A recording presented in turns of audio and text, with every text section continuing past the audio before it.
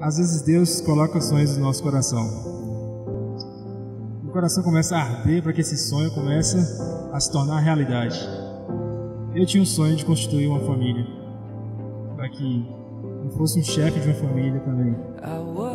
E você, hoje aqui, tudo isso aqui é um sonho se tornando realidade.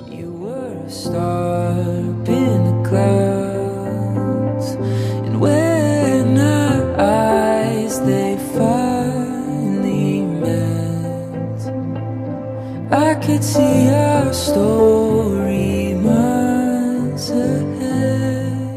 Deus não une pessoas, Ele une propósitos. E aqui estamos nós.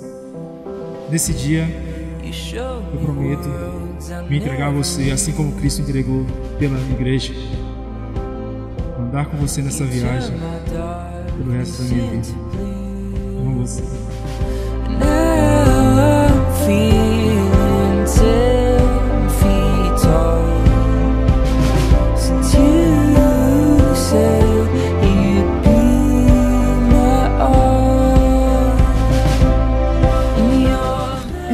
Eu te amo muito, que você é meu presente e que nós teremos uma grande jornada pela frente em fazer o ID de Cristo.